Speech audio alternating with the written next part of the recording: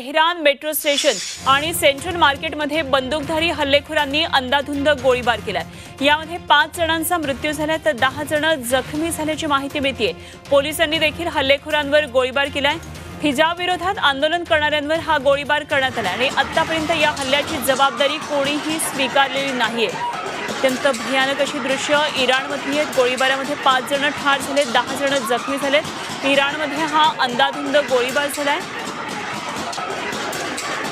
Tehran metro station आणि central मार्केटमध्ये बंदूकधारी हल्लेखोरांनी हा अंदाधुंद गोळीबार केला. यामध्ये पाच जणांचा मृत्यू झालेला असल्याचं कळत आहे